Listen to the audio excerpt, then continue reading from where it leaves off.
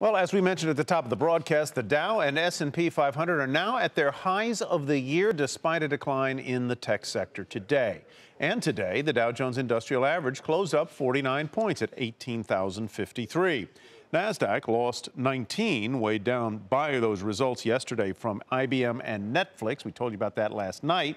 The S&P 500 uh, added about six. As Bob Pisani explains, earnings may be the catalyst that pushes stocks to new highs.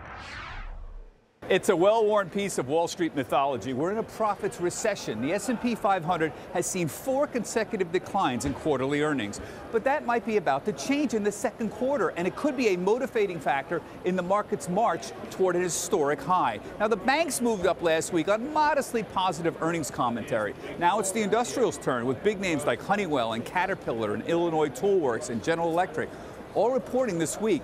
These big industrials are great barometers of the global markets because they make a lot of things and they sell in dozens of countries. If there's any growth or the lack of it, they're going to see it any sort of mildly positive commentary from this group, anything that indicates that the growth prospects for the global economy is even a little better than it was a few months ago, could propel the industrials slightly higher and then push the markets into record territory. You know, we're very close. The S&P is less than 2% from an historic high.